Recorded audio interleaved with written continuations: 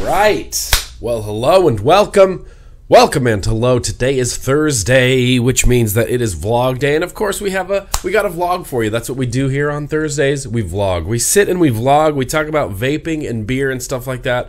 I have been gone for the last six days, six days away from my computer. I apologize. I uploaded a vlog on Thursday. Uh, I did not get a chance to reply to any comments on it because I uploaded it Thursday. I flew to Baltimore uh, that morning at 6 a.m. Uh, and then uh, I've been gone the whole time. I just got home yesterday. I have not prepared for this vlog uh, very well at all. We do have some first impressions. I do want to talk a little bit about VCCPA. There's some advocacy stuff to talk about. I do have a beer and I do have a retro vape setup. So maybe, uh, maybe a little bit prepared. Um, I'm still very, very slightly coughing. I cough a little bit and I've got a little bit of a cloggy nose. I feel great. I just uh, still very, very slightly under the weather, so I apologize. But moving forward into the vlog, let me get out my vlog notes because there's a there's a bunch of stuff to talk about. Like I said, for the last six days, I was gone at uh, VCCPA Vaping Convention Circuit. That's my hat. Uh, in Pittsburgh, which was a really, really cool city. I didn't quite know what to expect. I was kind of expecting uh, another, you know, kind of dirty East Coast city, but it was it was really, really cool. Very, very cool city. Uh, Sean took me to Sean from the Plumes of Hazard. He took us to a uh, a church that has been converted into a brewery, and it was very, very cool on the inside. Like very, very cathedral churchy, and then like up at the altar. Uh, you know where the Christ would be hanging was was brewing equipment. It was just a big brewery, and I drank beer and uh, we had pizza, and it was it was really really good. And we went and saw jurassic uh, world while we were in pittsburgh as well the night before but the uh, i was gone at the vcc event. So vcc event? Vcc event so i haven't got to reply to any uh, emails of which i only i think i only received 244 emails while i was gone over the course of six days. 244 emails yeah, so I'm slowly going to be getting through those. I'm slowly going to be getting through Facebook private messages. I don't know if I'm going to attack any YouTube comments. I might go through and reply to a bunch of them on YouTube. But yeah, I didn't get to reply to any of the comments on my last vlog on the tour of the office, which I hope you enjoyed. I haven't even read any of the comments, so hopefully people enjoyed it. Hopefully people uh, were into it. Hopefully not everybody was just like angry and stuff like that. Um, no big deal. So moving forward, um, uh, there was uh, a new call to action from CASAA. Now, uh, this isn't a call to action. This is a call to action that was emailed to me uh, from CASAA, the FDA call to action. Submit comments for FDA's second workshop regarding e-cigarettes. No, that's not right. This is the third workshop. Why did they give me the wrong link? CASAA, here's the thing. Okay, so here's here it is. I'm going to post this link in the description. CASAA's call to action submit comments to FDA's third workshop regarding e cigarettes. The first three FDA workshop, uh, the first of three FDA workshop was held on December 24th uh, to, or December 2014. It doesn't say 24th. I don't know why I said that. The second in March and the third in June. You have until July 2nd, 2015 to submit comments on all three workshop. Please see the CASAA call to action for the first workshop and the CASAA call to action for the second workshop for details and instructions for commenting on the first two workshops. Those workshops offered more critical opportunities for customer input, so if you have not responded to those CTAs, you might want to start with one or both of them rather than this third one. So the third one focuses on issues related to population health. The quality of presenters was substantially improved compared to the previous workshops, with almost half of them presenting useful and honest scientific information. Uh, yeah, I, I'm not going to sit here and read this whole thing. Um, I've read the whole thing. I don't want to read the whole thing just word for word. I would encourage you to click on the link, do your part. There is effort involved. This isn't something where you just uh, click and then sign your name and then send it and go, yeah, I did advocacy. I did my part. This is actually like follow the instructions, write up a thing, sign your name, send it off. It's it's it's a little bit more involved than uh, than just clicking a link or reposting something on Instagram. This is actually like an involved process. And like I said, I'll post a link in the description to the FDA's uh, third call to action. One thing that I did want to talk about as well that I don't have uh, the link up to. Truth about vaping. Hell yeah. So, truth about vaping uh, the Truth About Vaping is a YouTube channel uh, run by a very lovely girl named Danielle. Her name just came out uh, the other night. She got introduced to the world, but she's been doing these kind of on her own. And they are partnering up or working in conjunction with uh, notblowingsmoke.org, which has been one of the most successful advocacy groups, uh, I mean, of the last year easily. Um, okay, shh, Danielle, shh. Um, I'll post a link in the description to the Truth About Vaping television commercial, which is actually really, really cool. And in fact, I'm going to put it in this video. You know what? You know what we should do right now is just watch the Truth About Vaping television commercial now. Many of you may have seen or heard misleading information about using electronic cigarettes, otherwise known as vaping. So allow me to tell you the truth. Vaping is not smoking, a health hazard, marketing to kids, big tobacco. Vaping is small, local businesses, creating American jobs, less harmful than combustible tobacco, helping people quit smoking. There's a lot they aren't telling you about vaping.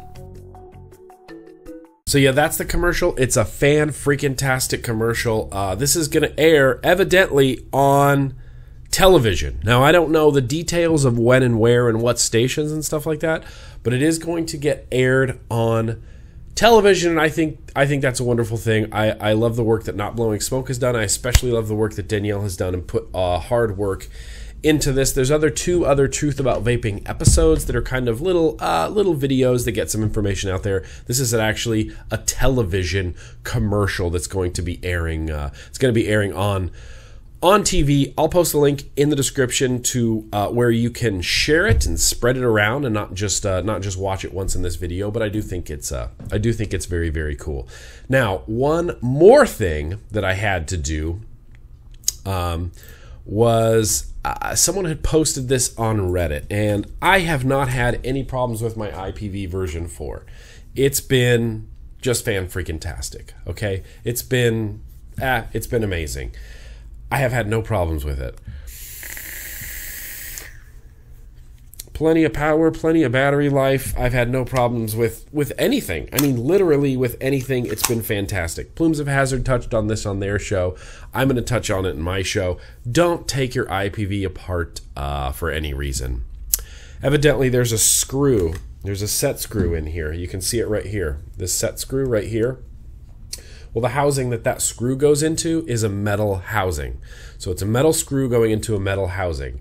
And there is a thin sort of layer of filminess to protect the charging board from that screw. If that screw housing touches the charging board, that's when shit goes bad really, really fast. So people have been taking their charging boards out of here as a safety precaution or opening it up and messing with that little flap in there that protects the housing from the charging board and fucking things up and causing all these super hard shorts and battery failures and burnouts. And then there's another issue with the IPv4 saying check atomizer after 10 minutes of use. So after someone's using it for 10 minutes, the IPv4 is shutting down and saying check your atomizer. So this person posted and said, Hey guys, I got my IPv4 black today, and it's saying check atomizer literally 10 minutes into using it. Does anyone have any idea on how to solve this? I screwed the 510 in and out just a hair with no luck. I have no idea what the hell's going on with this piece of crap, and I love some feedback on how to resolve it. If everyone has experienced the same issue, then he updated it a few minutes later and says, Wow, it looks like I'm not alone. It appears the black IPv4 has running into some major issues. We have had at least six reports now on this thread. Please continue to update this thread so we can keep track of what's going on. Uh, can you post your serial numbers under the battery? Maybe we can identify a bad batch or run. So, evidently, the black version of the IPv4 has a reoccurring issue, and they haven't been able to nail it down to any sort of uh, run or batch that was bad. But 10 minutes into using it, it says, please check your atomizer. Um, there were six people in this thread that had the same exact issue, but only with black IPv version 4. So thankfully, I got a. Uh, I got a silver IPv version 4, and like I said, it's been working fantastic. If you have a black one, you can go check up on this thread. If not, um, the only words of wisdom I have for you are don't uh, take apart your IPv4 for any reason. Just leave it alone and just don't use the charging port. That's the best thing you can do. If you try to take it apart and take out that charging port and you do something wrong, you have the you have the you have the ability to royally fuck up your mod. Um, so just don't do it. Leave it alone. Don't take your IPv4 apart unless you I mean unless you really really know what you're doing. If you know what you're doing, you want to jump in there, absolutely. More power to you. Take it apart. Be like Mast from Plumes of Hazard and just take things apart and put things back together. I don't have the ability to do that. It's never appealed to me to try to take this apart and fiddle with it and fix shit on the inside and put it back together. I'm just thankful that mine works uh, really, really good right away, right out of the gate. So, what I want to do now, right before we get to beer, I want to do I do want to talk a little bit about the VCCPA event. So, VCCPA happened in Pittsburgh uh, this last weekend, and it was uh, really really fun. I flew to Baltimore. Um, Matt from Suck My Mod and I both flew to Baltimore. We stayed at Sean from the Plumes of Hazard's house. The next day, we drove up to, to Pittsburgh. Uh, we ate at the church. We went and saw the Lost World, or not the Lost World. We went and saw Jurassic World. We just hung out and met so many cool people. The next day was the day of the event. It started really early. Um, it started. I think vendors had to be there at 8 a.m., which is, which is a bad idea to do that vendors had to be there at 8 a.m. I think I showed up at around 10:30 or 11 o'clock to the event. Um, it was just going right away. So the big difference between this event and a lot of other events that I've gone to. I apologize. Let me have a vape. The difference between this event and a lot of other events I've gone to is a lot of other events are Friday, Saturday. This event was Saturday, Sunday. And when you have an event that's Friday, Saturday, usually the first day is slow, the second day is busy. But when you have an event that's on Saturday and Sunday, Saturday is busy and Sunday was a little bit slow. So Saturday was just crazy chaos packed all the time. I was planted firmly by the Namber Juice table. I was meeting tons of people, taking loads of selfies with people, and just you know doing uh, doing the vape meet thing. Um, we had the Grim Cult juices there, and people really, really liked them. Of course, we had Epiclouds there, people really liked them. We had the new Hexohm V2s, which we're going to have on the site hopefully very, very soon there, and people liked them. And I loved meeting people. I just like meeting people. Um, there's so many vapors in the world who run in different circles. You know what I mean? It's like these guys belong to the Cloud Chucker Society, and these guys belong to this group, and they're the Ohm Troopers, and they're the the Vape Hooligans. Shout out to uh, shout out to the Vape Hooligans. I'll post a link in the description if you want to follow him on uh, Instagram. He just posts tons of tons of cool shit. Very cool guy as well. But all that kind of is goes away at a vape meet. Like, yeah, you hang out with your cliques, but everybody wants to meet everybody else. I've never seen any like beef at a vape meet where people just don't want to associate with each other. Like, oh, that guy's being a dick. It's like, nah, you're at a vape meet. Just fucking relax. It's a vape meet. It's vaping. Okay, you can hang out and have fun for one solid day. And it's great. And I get to meet uh, tons of cool people. I posted a picture on Instagram of a very small portion of the people that I got to meet, but I did get to meet a lot of uh, a lot of very very cool people. There was uh, Lord Nimbus was there. He's a builder on Instagram. He built me a sick little coil on a tugboat atomizer that I don't have anywhere near me for some reason. I just don't have it. But shout out to Lord Nimbus. Of course, Fresh Skater J was there. Got to hang out with uh, Mark from Lab Rat Liquids, Sean from the Plumes of Hazard. Of course, the incredible Namber Juice crew was there as well. Uh, Eric from Titan Mods. Um, I did get to try. I didn't get to walk around barely at all at this event, and this event was like 80% juice vendors. It was more like 90% juice vendors, and so I didn't really get to walk around and try a lot of juices. Uh, I did get to stop by Majestic Majestic e-liquid, and I grabbed three bottles of their juice. This one is like a green tea white chocolate flavor. It is really weird. Oh man, it's so weird, but it's unique. It's interesting, and I like unique and interesting things.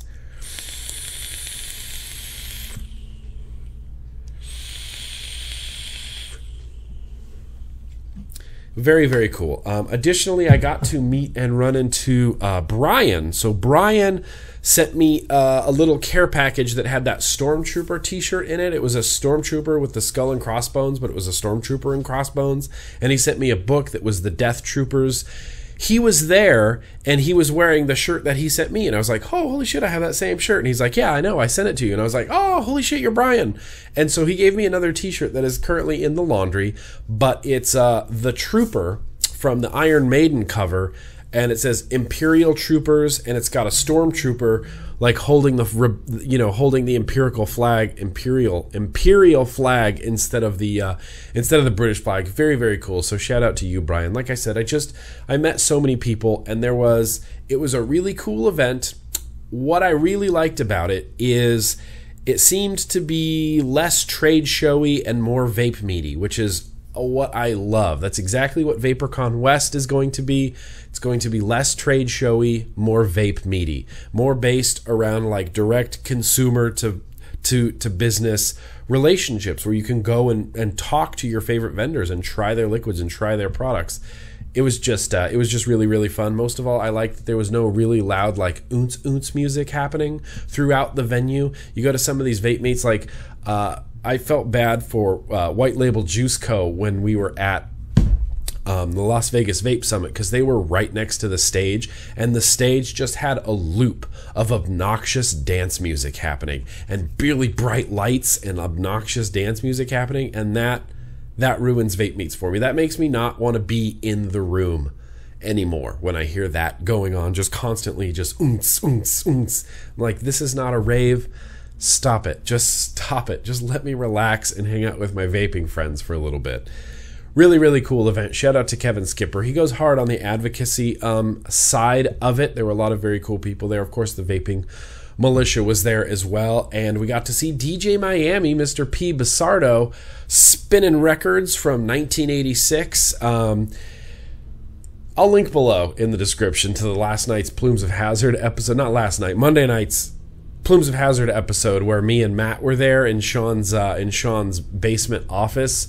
But there is some pretty freaking hilarious footage of Mr. Phil Busardo being DJ Miami trying to uh, you know pump up the crowd and spin music and it's uh, it's just funny. Obviously, I love Phil. Shout out to Phil as well for doing the DJ Miami thing, and they raised a couple thousand dollars for uh, for advocacy by they were selling tickets to get into DJ Miami, and uh, they raised a bunch of money for it, and it was great. And VCCPA was just a great event. Uh, I would love to go back. I would love to go to another VCC event organized by Kevin. I think he does a really good job. He told me he's coming out to Reno July 10th and 11th for VaporCon West, which I think is just fan freaking tastic. Um, yeah, so yeah, VCCPA, really, really good time. So what I want to do now is beer. I want to do beer, and I wish, I wish I had a beer graphic, but I don't have a beer graphic. Maybe I'll try to make a beer graphic. I did a shout out graphic last week, and that was pretty fun.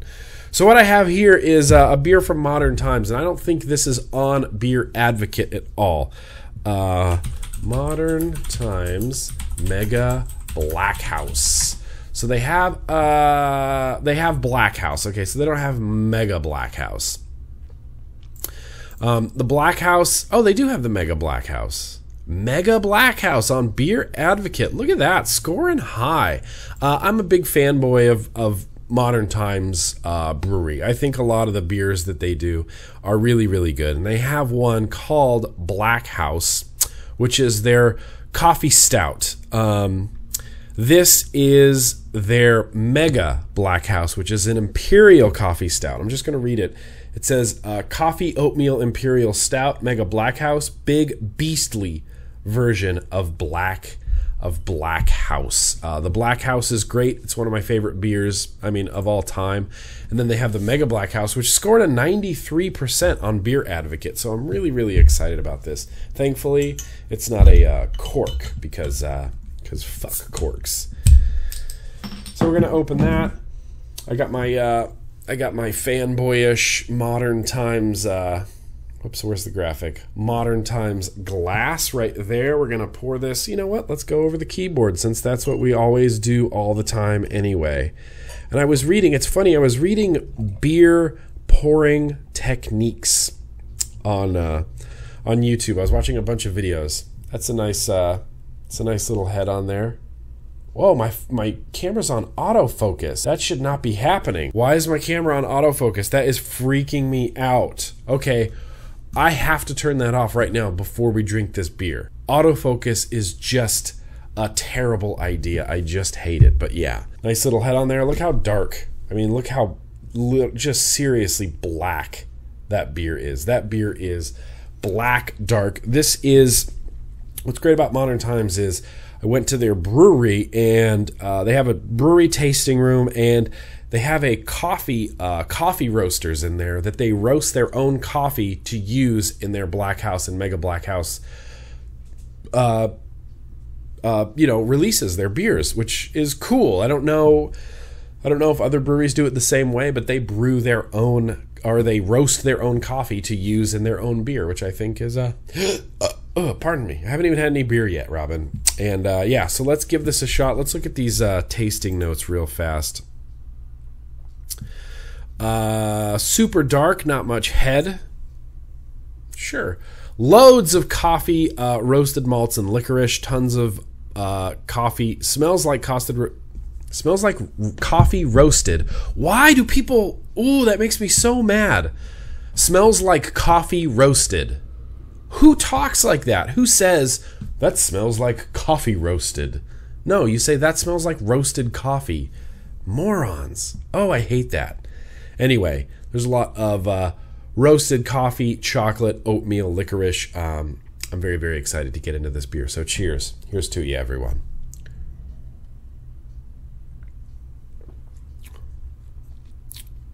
It's so intense. It tastes like a black coffee. That's what I get from it. It's a very dark, very very f- like french roast like just blackened coffee flavor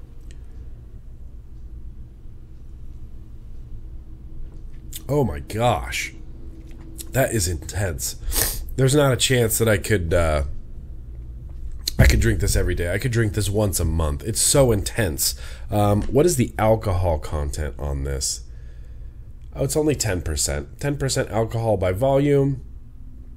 Uh, oh, it shows you the coffees that they use. So they use 75% Ethiopia, which is great, and 25% Sumatra, which, if you were tasting those coffees together, uh, it would be horrible. Ethiopian coffees generally have a very lemony, citrusy flavor, and Sumatra coffees generally have a very earthy, herbally, like potting soil type of flavor. So those those mixed together as coffee minus the beer would not be uh, would not be an enjoyable uh, would not be an enjoyable thing. Uh, they use two row roasted barley, flaked barley, pale chocolate, crystal 60, crystal 120, uh, Munich oats, dark chocolate, black barley, midnight wheat.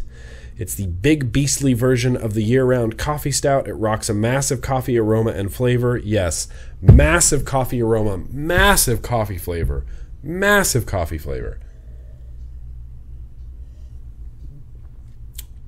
That is so crazy. I mean, it tastes like beer. Of course, it tastes like beer. You get like hoppy, malty alcohol flavor, and then there's this oh, there's this trumpeting over all of that is this huge huge coffee coffee flavor. That is crazy talk. Oh my gosh. That is insane. If you have if you're a dark beer fan and you have the ability to get this mega black house from modern times, um, please do it. Just do it. It is oh my gosh. I wish Joe Joe doesn't watch my videos. Joe from Namber Juice, I wish you could taste this beer. I would love to send you some of this beer. Oh my gosh.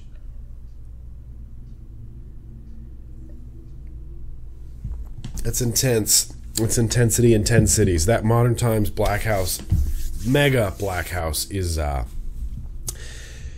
is crazy. So what uh so what I want to do now is probably I want to do some shout outs. It is shout out time. So yeah, I've got a lot of shout outs. The shout outs just pile up like crazy. And the first shout out is uh is a fella on Instagram, Vigilante808. He, he messaged me and uh, don't message me on Instagram. Instagram is the most pain in the ass, hard, awful way to message with somebody. I just dislike it so much. But he says, uh, Hey, Grim, I know you're busy, but can I ask you a favor? It would be an honor if I could possibly get a birthday shout out from you. Um, and I said, Absolutely. I said, When was your birthday? He said, It's today. And this was four days ago. So happy birthday to you, Vigilante808. Um, hope you had a good birthday. I also want to give a shout out to. Uh, what was his name? I just saw him on here. Lord Nimbus, that's right. I want to give a shout out to Lord Nimbus. He did build me a very, very cool coil, and I'll post a link in the description to where you can check out his uh, his Instagram account. It's all full of just uh, you know uh, builds and juice and tattoos, and he does crazy. He does you know he does these kind of builds that just here. Let me turn down the brightness a little bit. He does those kinds of builds, those silly types of builds and things like uh, you know double staple fused cat track Clapton nonsense. He does very cool builds, so shout out to Lord Nimbus. Let me open let me actually get to let me actually get to my uh my shout outs. Uh why is life why is life so hard? Just answer me. Why is life so hard? I had uh, a shout out. I had a bunch of shout outs all planned. I had a bunch of shout outs. Where did all my shout outs go? I can't believe I don't know where. I had one specifically that I was going to do this week. I apologize. Uh, this comes to me. Be I can't. I don't know whose name it is. It just says me. It says from me to me. So I don't know what that means. He writes and says, "Hello, Grim. I just wanted to share something with you. Something with you. I've noticed not too long ago. Uh, it amazes me how much vaping grows and is still growing. Not long ago, maybe two years at my Two years ago at my job, there were two vapors, and now I'm happy to say that there are dozens, and that number is still actually growing. Uh, of course, vaping is growing. Why would vaping not be growing? It's fucking awesome. Everybody's going to be vaping soon. Every day I have smokers asking me for information on vaping, trying to see if vaping would be good for them. I gave away my starter kits to a fellow coworker, and he uses it every day. It's fun uh, it's fun to get so much into this that you actually want to help people quit when they come to you. Yeah, absolutely. Vaping is like a life changing thing. Uh, just wanted to say thank you for all your videos. I never miss a vlog. Keep up the good work. Also, to all the advocates and people fighting for our rights uh, to help us being able to keep helping others. Can you shout out my favorite place uh, I started vaping? It's called Vape Boutique in Bra- Brabrion, Brabri- Brabrion, Quebec, Canada. Vape boutique in Brabrion, Quebec, Canada. There you go. Absolutely. You that shop that I can't pronounce the name of. Absolutely consider yourself uh, consider yourself shouted out. Another fella, Mike, writes to me and says, "Hey Grim, my name is Mike. Uh, I would like to ask for a quick shout, quick shout out for my girlfriend Marie. She has been th- through some truly traumatic things in her life and has lost several people in her family, and still has one of the kindest, and still is one of the kindest, most loving person I know. I'm sorry. She watches your videos with me every day and has helped me quitting smoking and getting into vaping. I would like to do something for her to show that her kindness and warm heart are what makes her such a strong person. She thinks you're hilarious. I mean, and loves learning and listening to you. She is the most beautiful girl I have ever seen, and she is the only person I know that will vape with me in spite of our lack of friends. Uh, I know it would make her so happy if you were to shout her out. Thanks, Grim. You're our favorite. Absolutely. Uh, Mike and Marie consider yourself shouted out. Having someone there to support you in your habit, uh, in your changing, you know, becoming a better person type of thing is is very very crucial. Um, I meet a lot of, especially at vape meets, I meet a lot of people who, you know, the husband vape, vapes and the wife doesn't do doesn't vape or smoke, or the wife vapes and the husband doesn't smoke or vape, but they're there to like support each other, and I think that's a, I think that's an incredibly incredibly important thing. So definitely shout out to Marie. Definitely shout out to Mike. Uh, keep being a good. Uh, keep being a good uh, functioning supportive unit like that. I got one more here, Brian uh, my name is Bryant. I love your videos. It's a great movement you have going. I would like to cover something that I have not seen any vape reviewers cover, and you are the best, so I'm coming to you. Oh, thank you, Bryant. That means a lot to me. Most people use vaping to quit smoking, but I actually used it to quit dipping slash chewing tobacco. Great point. I was dripping, I was dipping nearly two cans a day for about four years and could never fathom being able to quit. Many people, including my local vape shop, told me vaping would not help me quit. Why would why would they say that? But I tried it anyway. Safe to say they were wrong. All types of tobacco users, including dippers, can use vaping to quit. I did not get any of the withdrawal effects. I could not be happier to see the health of my teeth and gums improving so quickly. Tobacco free for seven weeks now. Thank you for listening. Trying to get the word out to help people who are addicted to dipping as well, because vaping is the answer. That's absolutely true. There's a, there's not tobacco use isn't just limited to. Uh, to smoking. There's people who who use tobacco in other forms that could greatly benefit from vaping, and that's that's absolutely true. You know, we have this whole fuck cigarettes, fuck big tobacco mentality, but it's not just cigarettes that are the enemy. People chew tobacco still. Um, I was when I was back living in Reno, uh, I was in a band Glacier, and our singer Ryan, he was a huge dipper. I mean chewing tobacco constantly, nonstop, at practice, at shows, just chewing tobacco. And then he quit using the patch and gums, and he hated it. And we were at, I think we were at a clutch show actually, and uh, I had uh, a little device on me. I don't even remember what I have. It was kind of like a little similar thing like this, just a little tiny mod and a little tiny tank. Then I was using it infrequently throughout the show, and he's like, "Hey, can I can I try that?" Uh, and I said, "Yeah, absolutely." He stole it from me and vaped it the entire show. Um, all the all the bands, opening band, Clutch. He was using it and vaping it, and he spit out his tobacco, and just pardon me just used the vaping for the few hours that we were there at the show. And he gave it back to me at the end. He's like, thanks. I, I want to buy one of those. And I was like, well, shoot me an email and, and, you know, I can hook you up with something. He's like, oh, no, no. You know, I want to go buy it. I want to, you know, I want to do my own research and buy it. I'm like, well, I hope that works for you. So hopefully Ryan, hopefully Ryan got a, uh, hopefully Ryan got a vape and stopped dipping and chewing tobacco. But yeah, Absolutely. There's people out there who dip and chew tobacco that vaping could possibly work for them. And uh, I think that's an excellent point. Bryant, thank you for uh, thank you for sending that out to my way. Uh, now, uh, here's the last one, and this is kind of a long one. So this goes this comes from Sean. Uh, he goes by Cru Jones of Rad Racing, which if you're familiar with the movie Rad, then yes, you know that that's a great movie. Dear Nick, of course I love you. what? But no template here. I'm writing to shout out an owner and vendor that went above and beyond to fix a problem, specifically owner Tim Campbell and his company Vapor Beast. Without boring you with all the details, I will say they dropped the ball, which ended up with me being very upset. I went on a few social media outlets and vented my frustration, as we often do. But the next day, I got a personal phone call from Tim, the owner. He allowed me to vent my story and gave me a very sincere apology gave me the most sincere apology I've ever had and assured me that it was not the standard of his company structure. He made it up to me more than I could have ever asked for. I hope you put this in your vlog because right now, with corporate giants and the law breathing down our neck, we need to support small businesses. Um, the American dream is what this industry is built on. Tim and his family started Vapor Beast in their home and have grown to many employ many employees and thousands of shipments per day. If this isn't the American dream, I don't know what is. We need to keep that alive and vendors like Vapor Beast going because Tim and his staff truly do care about vaping, vapors, and this industry and our freedom.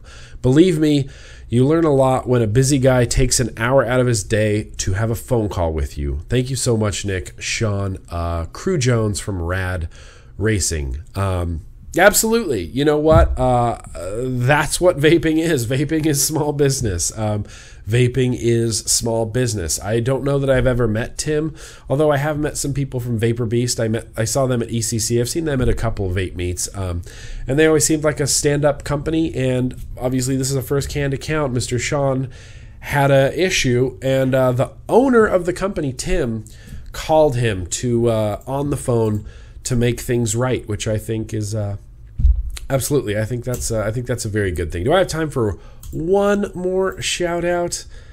Uh, let's see. Uh, yeah, sure. Let's end this on an up note. Jamie, a fellow named Jamie, writes to me and Hey Nick, this is not your average shout out request. I'm not really asking for one. Okay. Instead, this is to let you know that I watch your videos. I have for a long time now, so keep up the good work. A certain part has had an abnormal effect on my fiance abnormal effect on your fiance. Case in point, the normal view section. Every time the movie theater section comes up with the normal view song, the next day she gets it stuck in her head. this is made this is made awkward as she works in a lab and is quiet so her colleagues see a woman as they pass rocking from side to side with normal view normal view playing in her head. Thought you would find this humorous. She'd just die if you mentioned it. Sorry for the long explanation. Uh, I just needed to set the scene. Jay, absolutely, Jay. You and your wife, uh, Kate, Always more than welcome to watch the videos. Always more than welcome to sing the normal view music uh, in your head whenever you want. Uh, just don't make it awkward. That normal view uh, clip that I use in my weekly review series is actually from uh, Mystery Science Theater 3000. It's one of the best te- television shows that has ever existed, and uh, that's from the Mystery Science Theater 3000 movie that they do the uh, normal view normal view. And it's uh i just i liked it. I thought it was funny. So i uh i stole it and i put it in my videos. But absolutely james and uh, and kate consider yourself shouted out. You're more than welcome to sing the music anytime you want. Well now that we're getting into this vlog i do have some stuff that i picked up at vape meets as well as some stuff that came in the mail. Some of it good some of it not so good some of it very very weird. So what i want to do right now is some first impressions All right, so I'm filling up this tank here, but this is one of the things I want to be talking about on this first impressions, and I may or may not ever do a review for this. I might do a quick review for it. P. Already has his hour and a half long review for this particular product. This is the Kanger Sub uh, Kanger Sub Box Mini. Um, I actually just straight up stole this. I didn't steal it. Uh, Good Life Vapor was uh, was using these for their uh, for their tasters for their taster juices at uh, at the VCCPA event. And I was like, "Oh, you guys have the Kanger Subbox Mini? I kind of want one of those. Um, are you selling them?" And you know, Jason's like, "No, no, we're not selling them. But you know what? At the end of the event, we're giving these all away anyway. I'll I'll save a white one for you." And I was like, oh, "Yes, you will. You will save a white one for me." This is loaded up with. Uh, pardon me Robin, Stewart, what's it loaded up with? That's right, it's loaded up with Boilermaker Rivet, which actually pairs very, very well with this beer. Just very well. Mm, mm-hmm. Oh, that's good. Oh, I'm dripping all over the place.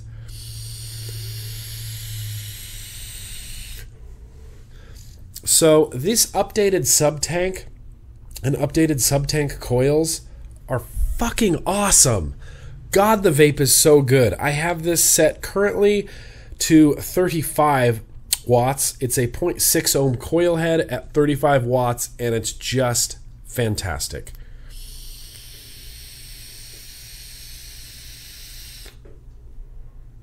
It's everything I want in a vape. It's delicious flavor. It's really nice, smooth, even airflow. I don't get any spit back from it like I do from the Atlantis tanks. It's great. Now, this sub tank will work on eh, almost anything. Let me put it on something else. I'm gonna throw it on the IPv4 real fast, just just to see. I haven't put it on anything else. I've only been rocking it on the IPv version four, or on the uh, on that sub tank mini box. But yeah, oh look at that. Boom, works great. Let me turn down the wattage here, people. Let's turn it back down to 35 watts. Okay, well, we're gonna have to get close because the IPv is weird like that. 35 watts. Uh, so this is the same wattage as it was on the Subbox Mini, so it should be the exact same vaping experience.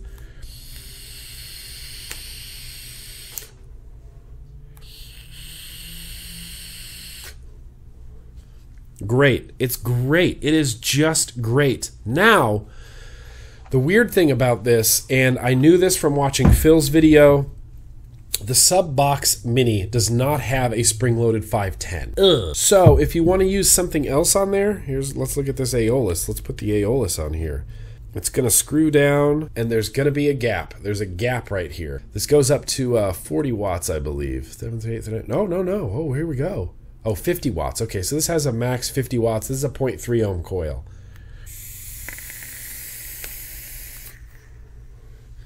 Okay, so that actually works like a fucking charm on there.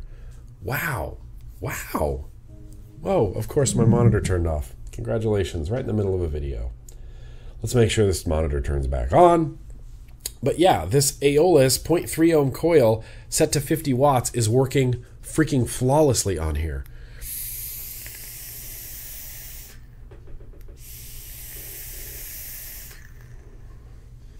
Wow, okay. So, color be impressed. That's kind of amazing. I didn't think that would work as well as it did on there. Let's try the Silo Beast. I was worried about that non-spring loaded 510 connection. I'm like, oh, stuff's not going to work on there. There's going to be gaps all over the place. That works perfect. Look at that. And there's no gap. Okay, okay, okay, Kanger, okay. There's no gap.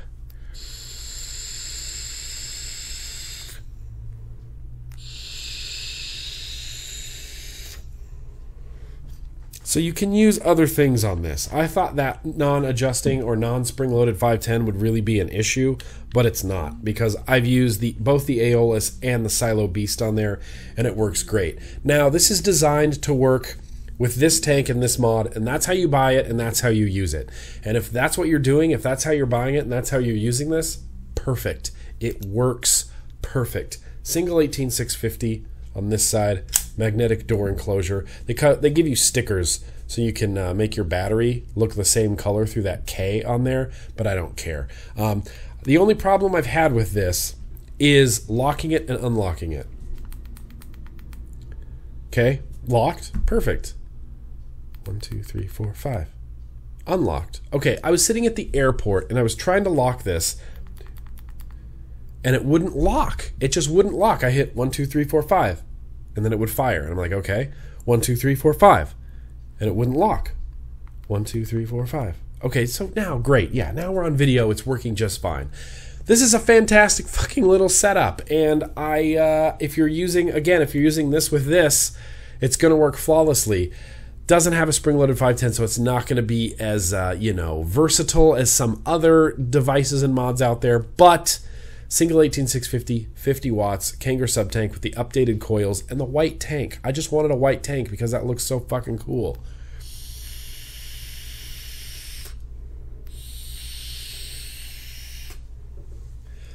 The white finish on here is uh, is not holding up amazingly. There's a bunch of scuffs on it already. Got a huge scuff here across the tank. Got a big scuff right here across the top. Can't really see it on video, but they're there white scuffs up. Uh, it scuffs up pretty easily. Obviously, I want to spend more time with that before I speak to it. Uh, before I speak to it completely. Another device I got, and this comes from Advken. ADV Ken. ADV K E N. I'll post a link in the description. This is a dual 18650 parallel box. And it's grippy. Look at that. Look where your fingers go. The button here, it's like the silver bullet style button it's nice and clicky. It works. This works awesome. I just love using it.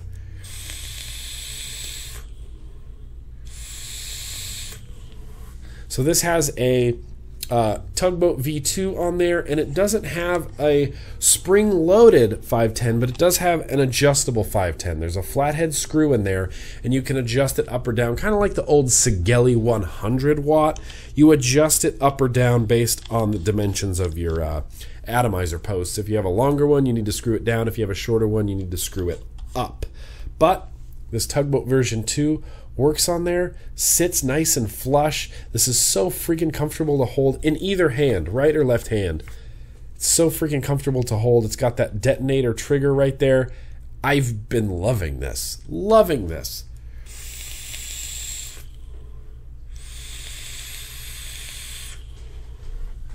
It's been fantastic. And now I don't know how much these damn things cost. Uh, Advoken, let me get to their website. Uh, they make a cherry bomber clone. There you go. They make a wooden box mod. Why is this mod not on here? If their cherry bomber clone is as well built as this is, then shit. They have a wooden box, a solid wooden box. I don't see this mod on here. All I see is their wooden box, which also looks really, really nice. Huh. I don't see it. I'm going to post a link in the description to their website, but honestly, I don't see this mod on there. I can't imagine. It comes from China. So I can't imagine that it's going to cost more than 40 or 50 bucks. And if you want a, oh, that one looks nice. Their wooden boxes look really, really nice. There's one in particular that's like stripy wood. Fuck, that looks cool. Um, it feels like a high end mod. Like it feels like the highest quality China mod that I've ever experienced. I had that other one that was a lot like this, that was the Tesla. This one is much, much nicer. Even on the fit and finish on the inside where your batteries go in, it's all branded Adven number 600. It's got a door that slides on grooves that just goes in so nice and perfect. This is fantastic. Uh, obviously, like all of my first impressions, I can't stress this enough. I do need to spend a lot more time with this before I can feel comfortable speaking about it on uh, on video. But so far, so far, this has been freaking awesome. And another thing I got from this same company, a fellow named Boris sent these to me. So these didn't come directly from Adven. These came from a guy named Boris. I don't know if he runs a shop. So, oh, there it is. It's called the Quido Quid Quinangba. what? Quinangba mod. Copper contact pin, uh, wooden mechanical mod, Chinese Quindabga logo. Uh, I can't. I'm good. I'm not good at uh, pronouncing things. So, so there you go. Uh, these are cool. These are cool, and I'll post a link in the description. Another thing that this company Advoken has is the Mad Hatter RDA.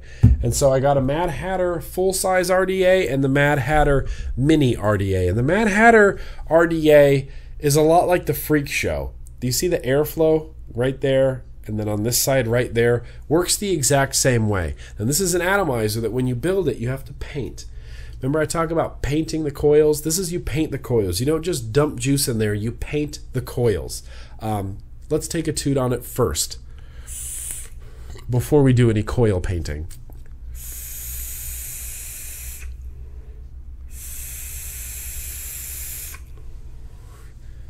Uh, this has been fantastic. One thing that I really like about this is it's kind of unique in that the top, the Mad Hatter, meaning that the hat comes off, the hat comes off on this. So if you're holding it like this and you're vaping it, and you hold it like this and you go pop, the top just pops off. It's on a little hinge right there. Snaps down, pops off. And then you can see your coils in there. And I don't have anything in special in there. It's just a 5 wrap 24 gauge Kanthal build. But you can see your whole build in there.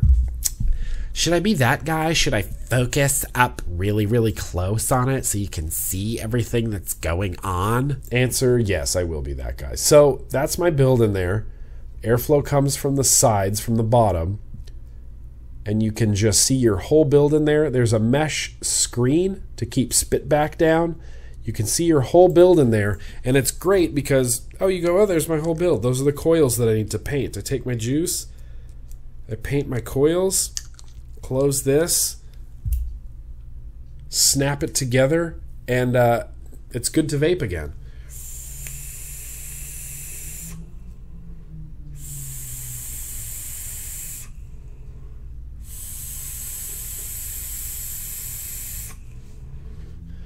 And those little, uh, you know, that little screen in there really, really does help with spitback. Now, I noticed that unless your O rings on the top cap are lubricated with some juice or spit or water, as Ohmboy OC calls it, it it's hard to like press this down. It doesn't stay. It likes to go down and pop back up just a little bit. But if they're lubricated, you can just go and it pops back down. This is fan fucking tastic. I think this is so cool that you just go, "Hi, there's my build in there. What's your build? Oh, that's my build. Oh, look, I need to paint my coils. Paint my coils in there. And uh, pop it back down, vape it. You're good to go.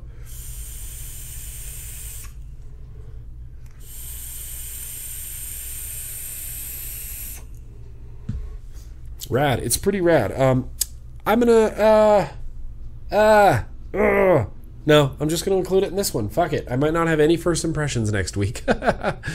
but what I do have is uh, this copper mech mod here. Now, I got this at VCCPA. It's called the Fate. It has Fate on the bottom there. Now, it looks like a copper mech mod. It's got a sugar skull engraved on it. It looks like a copper mech mod. It's got that annoying two pin design in the top, which we're, evidently we're just never going to get away from as an industry. We're going to have two pin adjustments on the top of every mech mod. But this one has one very interesting, unique feature that lends itself to a little bit more of durability. So you see it says Fate there on the bottom. Do you see that silver ring going around the body, around the body of the button, but underneath the body of the mod? There's like a silver ring around there. Well, that ring is titanium. And he did this neat little, uh, you know, home shopping network infomercial style display for me. Um, there's some mods out there like this, like the rig, like the new tugboat mod, which we're going to talk about next week, the new tugboat mech mod, which we're going to talk about next week. In fact, I don't even really know where that is right now. That's what I'll have for first impressions next week, the new tugboat version too. Titanium, so that if you drop this on the concrete, the ends don't cave and don't bend and render your button completely useless. Um, evidently, it happens with the rig mod a lot, and what'll happen is your button will get stuck because you've dropped this on the ground and dented the copper. The copper is not a super hard material and it will pinch and pinch your button in there if you drop it a lot. He took his Fate mod and he's like slamming it against this rock and he's just denting the fuck out of it, but because of that titanium ring in there, the button was just glidey, buttery smooth, while the outside of the mod looked like it had been chewed up and spit out. Like he was just slamming it on this rock. He had a big rock on his countertop, slamming it on the rock the titanium ring remained intact. It kept all the internals nice and just clean and buttery smooth, but the outside of the mod just looked uh, destroyed. I don't know if I'm going to take it that far, but I did want to show it on video before it turns, uh, well, before it turns brown, because that's what copper mods do.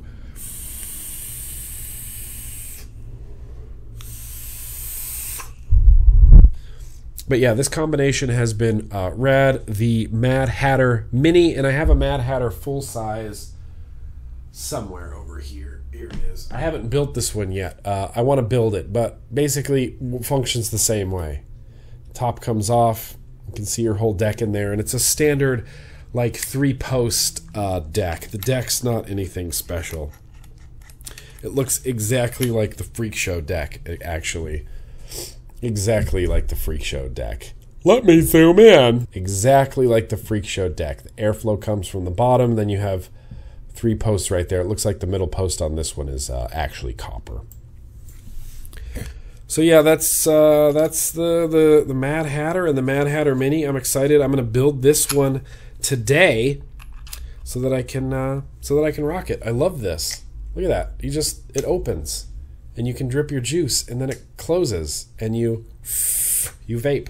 I even like the airflow. So, the last first impression that I have to talk about tried and true. There was uh Volcano, uh, I don't know why there was such a big pause there. Volcano eCigs has been around forever. Um, and they've been releasing the Lava Tube mod forever. And this is the newest version of that. They're sticking in there with a tube mod. This is the Lava Tube version 3. And uh, it's actually powered by an Evolv DNA 40. It's got a really different looking display, though. And these sleeves are interchangeable so that I can pull this black one off of here and I could put a blue one or a pink one or uh, an orange one or a black one on there. And of course, they sent me a green one. It's nice and uh, rubber grippy on there. It's 24 millimeters around, so RDAs aren't going to sit flush with it. But the threads on this are just, I mean, flawless threads on here. They do make their own lava cell batteries now, which say 35 amp, 18650 ultra high drain.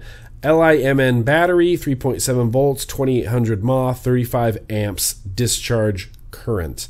I don't know what these are rewraps of. I can only assume that these are rewraps of something, and I don't know how accurate they are. But it's a very old school mod. You throw your battery in there, there's a spring in the bottom. You screw this together to, into the control head, just like that. You press the button. It says 40 watts powered by Evolv. Again, we're going to have to zoom in. But yeah, that's that's an actually powered by an Evolv DNA 40 chip, but it's got a very different looking display. So I want you to pay attention to this battery indicator up there. That battery indicator says full, and I know for sure that this is a fully charged battery. Fully charged. I put it on the charger, it said 100%, I took it off. And this does not have a spring loaded 510 in it either. It's not spring loaded. And it appears not to be. Oh, it is adjustable. Oh, it's reverse threaded. Okay. So it's reverse threaded adjustable 510 in there. A reverse threaded adjustable 510. So I'm going to put this Silo Beast on here. And this Silo Beast is uh, 1.3 ohm coil head in there. So it says check atomizer. Okay, so now it's firing. Okay, so now it says 1.8 ohms. So I'm not going to rock that at a full 30 watts. So the middle is the fire, and you see the adjustment up and down there. So I'm going to turn this down to like 30 something watts, 30 and some change. Let's go with 33 watts. So 1.8 ohms, 33 watts should be a highly decent vape.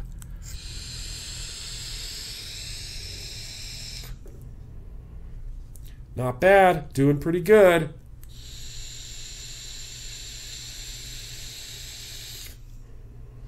Not bad, doing pretty good. I would actually turn this up a lot more.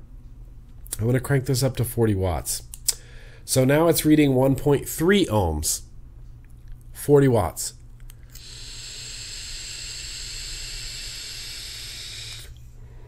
Yeah, it's working. It's working good. And then it gives me a low battery warning. And then that battery symbol on there goes to empty.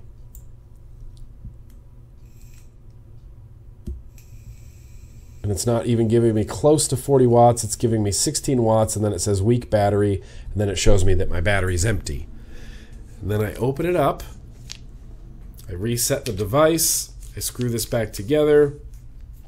I turn it on. LavaTube V3 powered by Evolv.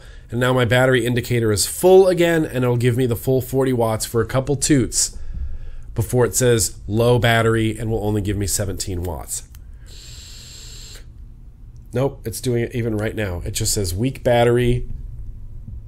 Just says weak battery. Weak battery, 7 watts. Weak battery, 7 watts. 9 watts, 10 watts, 12 watts, weak battery. Uh, I don't quite know what's going on here. I kind of want to blame Evolv for this. Uh, this battery is without a doubt 100% charged. And just in case, I have another battery right here that is 100% charged. It's at 100% when I just took it off the charger. So I'm going to put that in there. Lava Tube 3, powered by Evolv. Full battery. It's got a full battery right there. I hate to do this zooming in stuff so much, but it says full battery. Now, let's uh, let's have a couple toots on it. Nope, weak battery. It's telling me I have a weak battery, and the battery indicator is now dead. It's now zero. Uh, I don't know what's going on with this. It's weird. I think it's kind of weird, right? Uh, that shouldn't. I don't feel like that should be something that's happening. So maybe it's the tank. Maybe it's the Silo Beast tank. Well, thankfully, Volcano now makes their own sub tank style uh, atomizer. It's called the Tube Tank. Let's put this on here. This is 0.6 ohms, so I'm going to leave it at 40 watts, and it's just giving me a weak battery.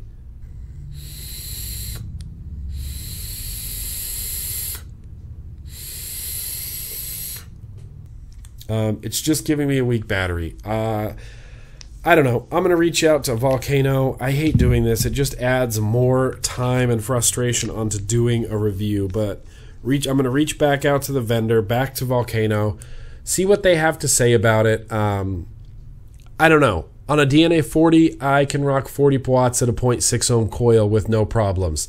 This is 40 watts with a 0.6 ohm coil, and it sucks. It gives me the weak battery, constantly flashing weak battery, and it shows that my battery is dead when in fact my battery is 100% full. So yeah, Lava Tube version 3. Otherwise, the threads are really nice, and it's not too big and batony. It's kind of a good uh, tube size. Weak battery. Okay, okay. Weak battery. That's it is what it is, and that's a weak battery. So we did a bunch of first impressions. We already drank beer. We already did shout outs. We already talked about the IPV version 4, uh, VCCPA. So what I have prepared now is some retro vaping.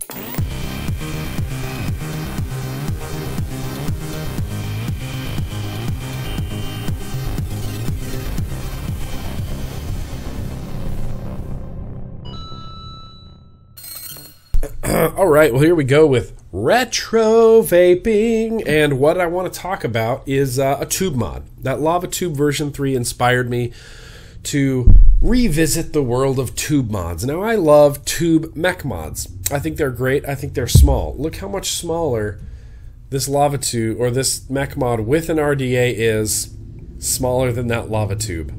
It's just little tube mech mods are great and I love using them. One thing I used to really, really love. This was my pride and joy. I loved this thing. This is the Silver Bullet.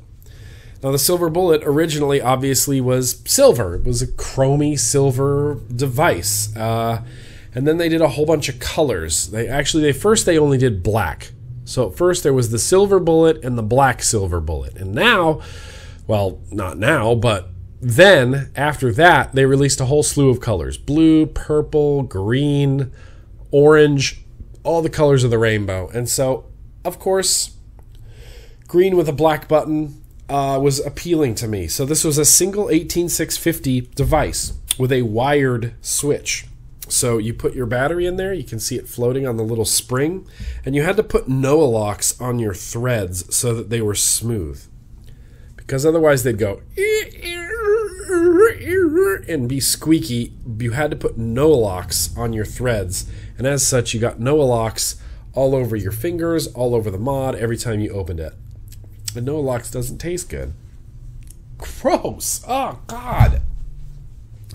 Anyway, the silver bullet was one of my favorite things, uh, I mean, of all time. So, this is a standard resistance 510 cartomizer. Ah, with a cherry vape drip tip on there. And 18 single 18650 just 3.7 volts wired switch 510 cartomizer uh, i'm getting texted so you need to be silent now. 510 cherry drip tip uh, this was it. This was my this was my everyday all day everyday vape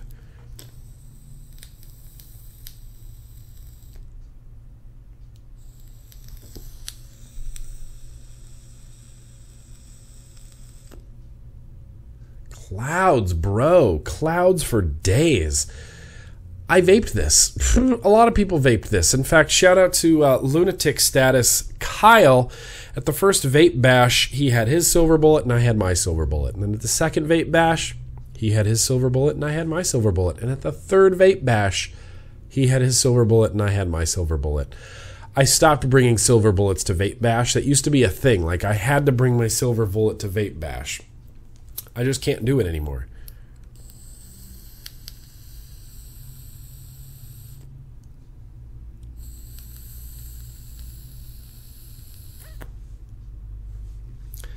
Clouds for days. So, what happened with the silver bullet? They still make them. In fact, as time went on, we started using the kick. Does anyone remember the kick? Well, I have a kick. This is the kick right here. This was one of Evolv's first products, and it turned a mod like this, a mech mod, into a variable wattage up to 10 watts mod. And you put a smaller battery in there so that the length of your battery and your kick was as long as an 18650. So you could put that in there.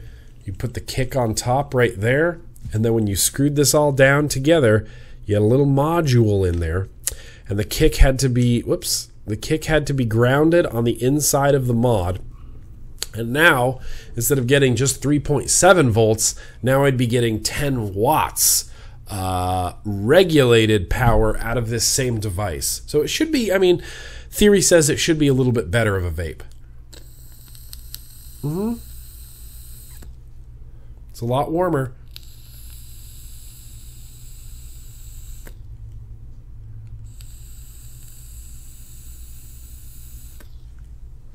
It's a lot, lot warmer, a lot, lot nicer too.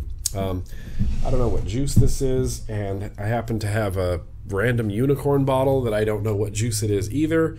So we're gonna put it in here. Oh, I think this is liquid swords. Just gonna fill up my cartomizer there. I used to rock this with a kick and a carto tank. Uh, just that was it. That's all I ever wanted to vape.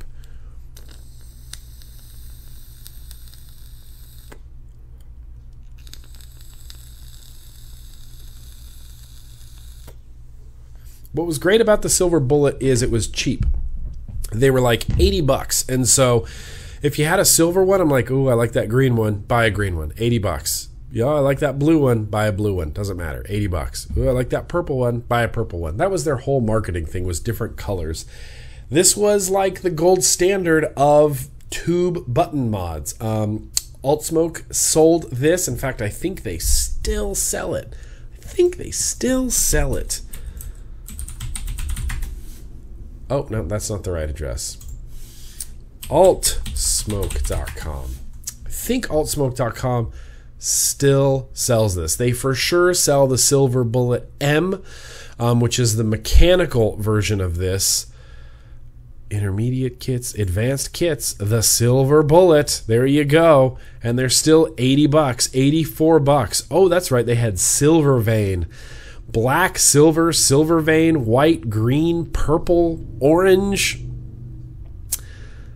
That's kind of fantastic. That is kind of fantastic. So, Silver Bullet, it was a thing, and it was uh, it was a major thing. I mean, it's got 431 reviews on their site, and they're all fucking five star reviews. Now, this is wired, and there's no MOSFET like there is now to protect the switch.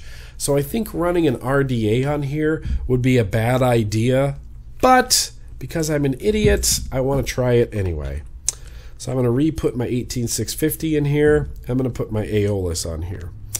Now this did not have a spring-loaded 510 connection at all. Oh, that's not going to fire.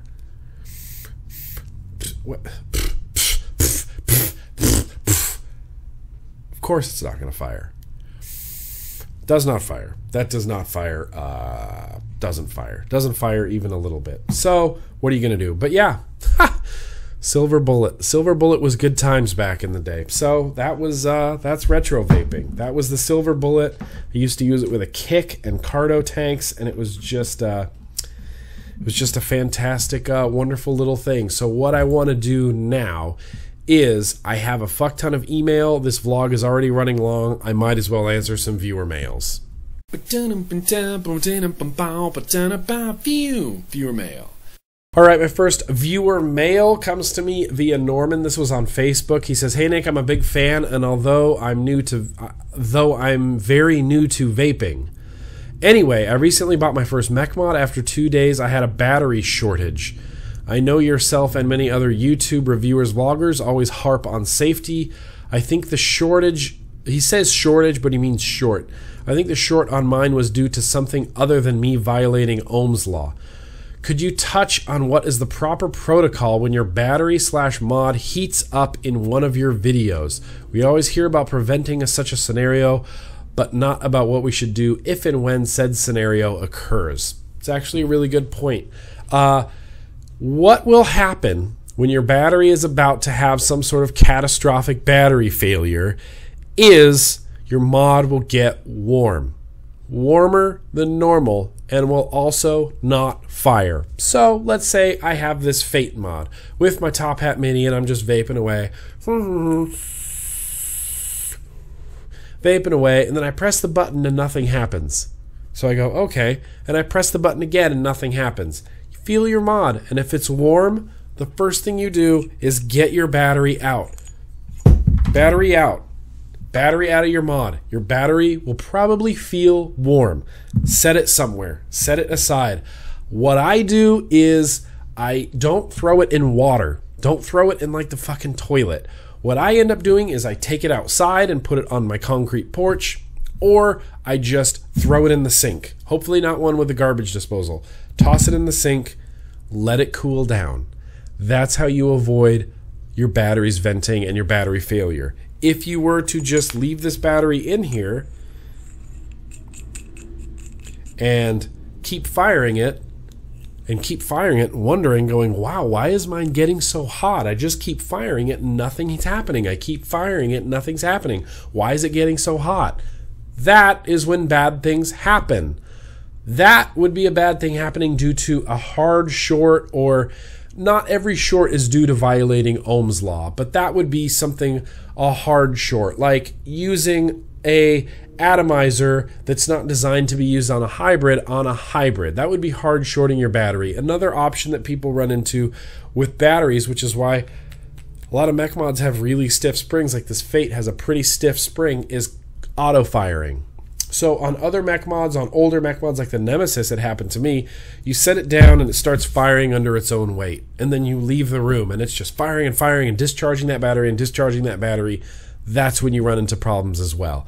Unfortunately, you're generally not there when it's happening, or it's happening somewhere else, like in your pocket or backpack. The first sign of a warm battery, get the freaking battery out of your mod.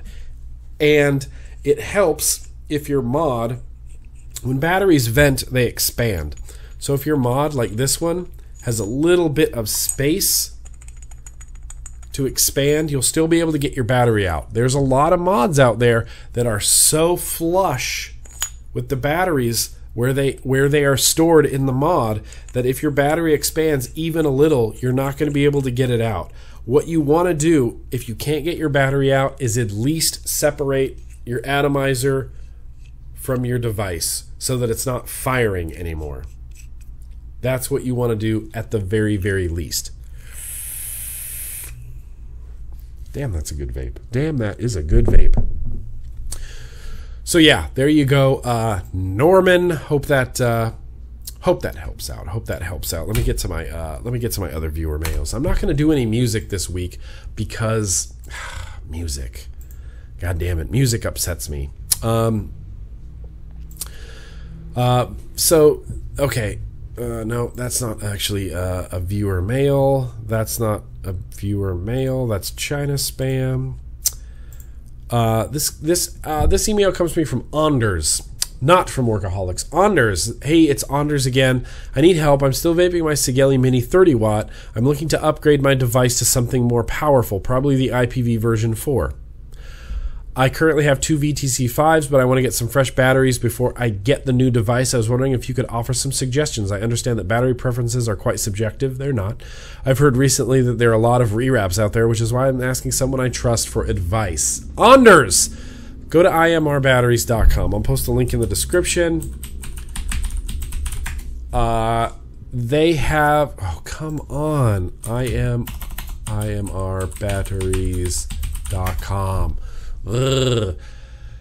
They have a fuck ton of batteries. So, the Samsung 25Rs are generally considered to be some of the best batteries uh, in existence, right? So, you can use their drop down menu and go to 18650 batteries. Um, oh, that's 16650 batteries. I didn't know 16650. I guess 16650 is a thing. I didn't know that was a thing. Click on 18650 batteries, and they have a whole list of them. Now, rewraps are the things that is ruining vaping. I'll just go ahead and say it. Rewraps are what are ruining vaping because you can't rely on a battery anymore because people can rewrap and rewrap and rewrap whatever they want. In fact, some of my favorite batteries, the MXJOs, everyone's like, oh no, those are rewraps of this, that, and the other. And sometimes they're rewraps of this, that, and the other. I like the MXJOs. For that, for me, they've been uh, the most consistent battery that I've used. Now, I do have a bunch of these sub ohm cells as well, which I'm told are rewraps of other batteries. Uh, the first batch was at least a rewrap of something else, and the second batch of sub ohm cell was a rewrap of something else. I'm going to link in the description to the Samsung 25R batteries, which are 20 amp batteries, as well as the MXJO 1600 milliamp hour, which are 30 amp batteries. Now, the MXJOs make a lot of sense to me, and I haven't done any battery tests on them. In fact, I don't have any friends that even do battery tests on things. 18650, 1600 milliamp hour, 30 amp flat top batteries. The 1600 mAh and the 30 amp kind of make sense because the higher your mAh is, the lower your amp limit's going to be on your battery. So I'll post the link in the description, like I said, to imrbatteries.com. I'll post a link to the Samsung 25Rs, and I'll post the links to the the MXJO 18650 batteries that I use as well. But there is a okay, so there's the Samsung. Oh my god, there's so many fucking batteries. Samsung 30B. Are those any good? Uh, it says they have Sony VTC4 batteries, but as far as I know, Sony VTC4 batteries aren't being produced anymore. So I'm assuming these are rewraps. Um, whatever you do, I know I said this in my Taking the Next Vaping Step video, just don't buy the vamped vapor cells. I hate those things. They all are shit. All the vamped vapor cells that I've used have been shit. They have been crappy, crappy, crap, crap, don't work very well, crap. I would never, ever, ever feel comfortable doing a like favorite batteries video or recommending all of my favorite batteries because there's so many freaking rewraps. Even these AWT batteries, which I have, that are 2500 milliamp hour and 35 amp batteries, which doesn't quite make sense in my head. They look like rewraps of MXJOs. They even use the same like design and layout and logo. I don't know. There's so many rewraps. Head over to IMR Batteries and read some reviews for the batteries. I'll link you to the two that I feel are pretty good, but then again, they could be rewraps of something else. Generally, for me at least, and let me know in the comments below what your favorite battery is. The MXJOs have been uh, have been quite uh, have been quite consistent in there. Anyway, anyway, I hope that answers uh, Hope that answers your question there, Anders. Anders. Um, I have one more. Uh, the most of these are. Will you review our products? Kanger. Here we go. Evan. Evan asks, "Hey, I had one question on the last get what? Hey, I had questions on the last get sub box mini kit. I don't know what that means. I just wanted to know a few websites to buy it. You just just use Google. Most of the e- viewer mails that I get or emails that I get are easily answered by Google. In fact, if I Google Subbox Mini Kit, my Freedom Smokes, my Vapor Store, Kanger Online, uh, Fast Tech is also in there, uh, UK ECig Store, myvapedeal.com. Go to my Vapor Store there's where you go. You go to myvaporstore.com to order your black subbox mini kit. Uh, chances are anything you have a question about can be answered by Google, and chances are the product that you're looking for is generally on in stock from my vapor store. Whenever I Google a product, my vapor store comes up. Uh, comes up first. Google is your friend, everybody. Evan, head over to myvaporstore.com. Um, I'm just wondering because I am just getting into the community and I thought this would be perfect. I've had a few mech mods and I didn't enjoy them. It's a lot of hassle. And since and since it's all about the clouds, I thought I'd try this product. It's not all about the clouds, Evan. Do you have any tips or tricks in ordering this mod? I just turned 18, so I want to legally vape now, even though I've been vaping since I was 16. My Vapor Store. It's not all about the clouds, but yes, this product, this will produce, uh, this will produce some clouds for you. Um, one more, uh, one more. Oh, okay. So this is a, this is a very, very, very, very, very very, very, very, very, very, very, very, very, very, very frequently asked question. Hey Nick, I just watched your vlog with your room show and tell, and I'm totally and utterly going crazy. I cannot find your tool slash holder slash build deck slash wire storage thing anywhere online. I've now literally tried everything, and I can't think of an even tested Google with a picture recognition. What? You may have reviewed it or showed it previously, but short of watching your entire back catalog of videos, I'm screwed. Please help pull me from my miserable state to which I'm holding you entirely responsible and tell me what it is, where it came from, and where I can buy it. Cheers, keep up the good work. I'm not sure my vaping experience over the last year and a bit would have been as good without watching you and a few other channels reviewing. Okay, so this is not what I'm thinking of. He's talking about this the min, the the mini deck. He's talking about Shane's mini deck. Um, it's called the mini deck. And you can uh, you can find it. no, it brings up. I'll find a link for it. I don't remember. It's it's like minideckstand.com or minideckstation.com or something like that.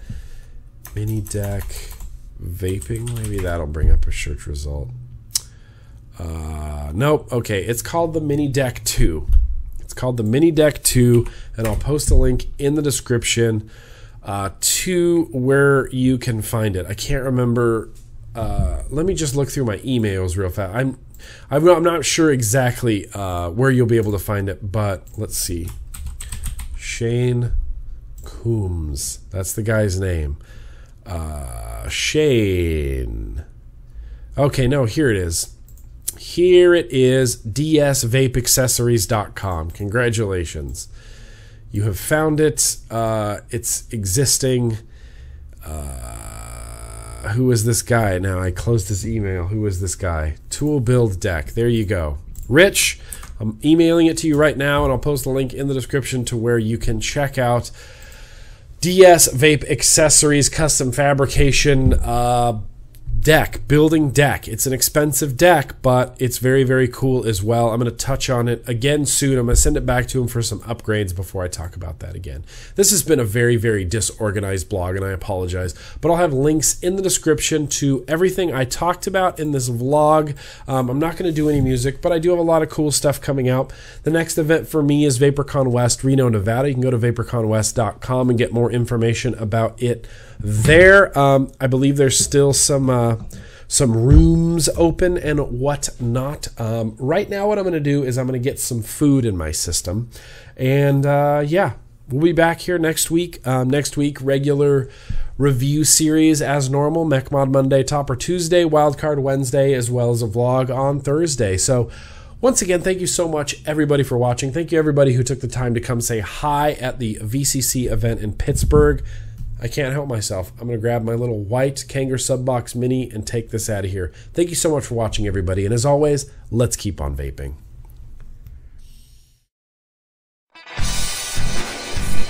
All right, thanks everyone for watching. And if you like this vlog, feel free to go back and check out my weekly review series. I'll have them linked below Mech Mod Monday, Topper Tuesday, and Wildcard Wednesday. And lastly, comments, feedback, likes, and subscriptions are always appreciated. Thanks so much, everyone.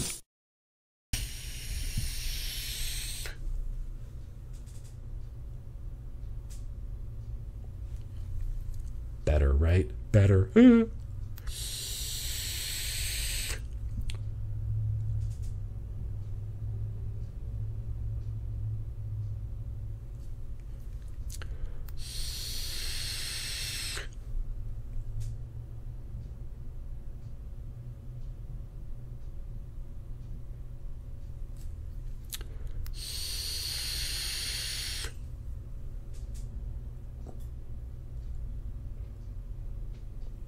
Okay, the last ones were junk, but I'm getting better.